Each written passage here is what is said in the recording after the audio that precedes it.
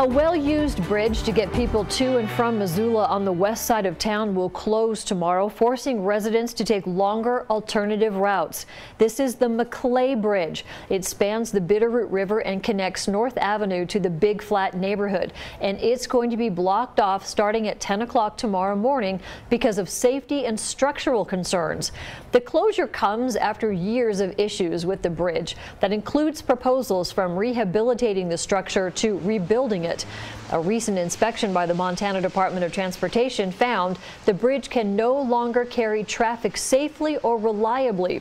Crews will place barricades at each end of the bridge tomorrow to prevent vehicle, pedestrian, and bike access.